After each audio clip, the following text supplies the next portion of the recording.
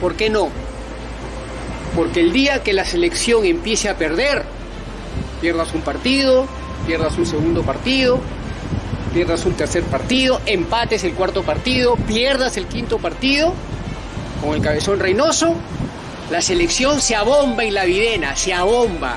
No se van a poder levantar y va a ser otro fracaso más. Ustedes quieren al cabezón Reynoso, ahí lo tienen.